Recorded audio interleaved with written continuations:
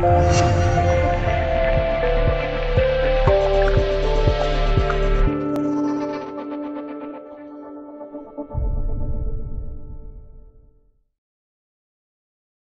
扑六月三十日讯，今天上午，河南建业足球俱乐部官方宣布，王上元从广州恒大租借加盟球队。随后，王上元接受了媒体的采访，他表示很高兴能够回到家乡球队效力，希望在下半赛季能够帮助到球队。在国外踢过球，也在恒大踢了几年，回到家乡球队有没有落叶归根的感觉？王上元，落叶归根谈不上。我现在还年轻，很高兴能够来到建业，这也是一个新的起点。我也希望能够在建业找回自己的状态，能够真正的帮助球队，同时也提高自己。你的爱人是郑州人，他是不是也希望你能回来，回归河南？是不是有这方面的因素？王上元，对，我们也刚成家，我老婆的意见也很重要。对于他来说，他也很尊重我的意见，毕竟这是我的事业。我选择回来后，他也很支持我，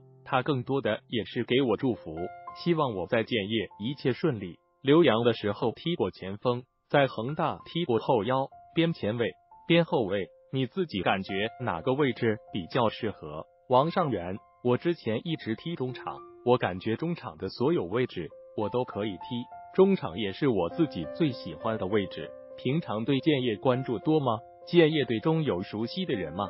王上元，首先建业是家乡球队，其次队中有很多小时候的队友和对手，杨阔、陈浩、王菲和钟进宝都比较熟悉。小时候面对面一起踢踢过球，虽然没有在建业踢过球，但是这些小伙们从小都认识，也比较熟悉。对张外龙主教练的印象怎么样？王上元，张指导的带队实力毋庸置疑，在青岛和重庆都有很好的战绩。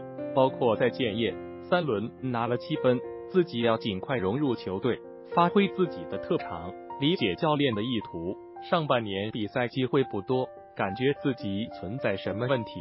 王上元，各方面原因都有。首先，自己的能力还需更一步提高。